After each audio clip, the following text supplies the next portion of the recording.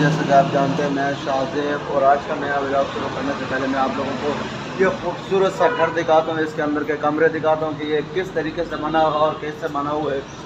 ये लोग जो है ना, इसको बेचना चाह रहे हैं तो मैं अभी आप लोगों को दिखाता हूँ ये कैसे ये, एक गेट इसका ये है। यहाँ से आप लोग एंटर होंगे ना तो ऊपर की तरफ़ जाएँगे। सेकंड फ्लोर के ऊपर तो मैं आप लोगों को फ़र्स्ट फ्लोर दिखाता हूँ। ये कैसे बना हुआ ये तो मैंने अपनी बाइक यहाँ पे खड़े की हुई है। ये इसका एक कमरा यहाँ पे या वाला। ये एक है और इसके बाद ये दूसरा है। उन लोगों ने पहले इसको हॉस्पिटल बनाया हुआ था।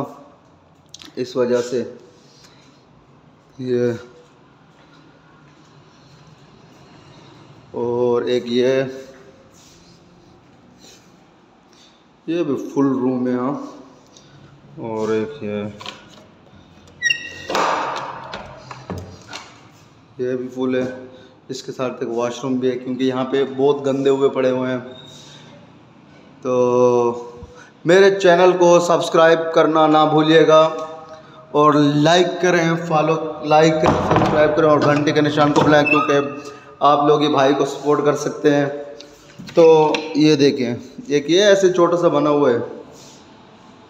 फुल नहीं है, बस ऐसे ये इसका बाहर के साइड है। तो अगले नेक्स्ट पार्ट में इंशाल्लाह मैं आप लोगों को दिखाऊँगा ऊपर। ऊपर कैसे बना हुआ है, सही है? तो ऊपर भी मैं आपको एक थोड़ी सी एंट्री दे देता हूँ कि वो यहाँ से बना हुआ है, ये देखें। यहाँ से भी एंटर हो सकते हैं ना, ऊपर की तरफ़ जा सकते हैं। ओके अल्लाह हाफिज़।